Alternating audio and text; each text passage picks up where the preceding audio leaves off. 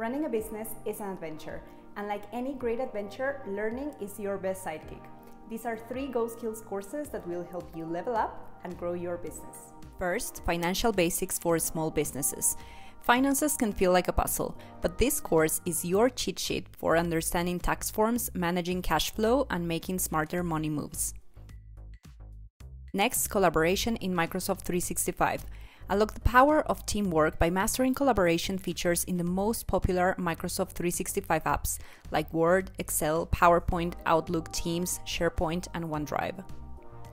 Then, leadership training. Discover seven proven strategies to lead with confidence, inspire your team, and boost morale, all while driving your business towards success. And here's a bonus Project Meetings, one of GoSkills free courses.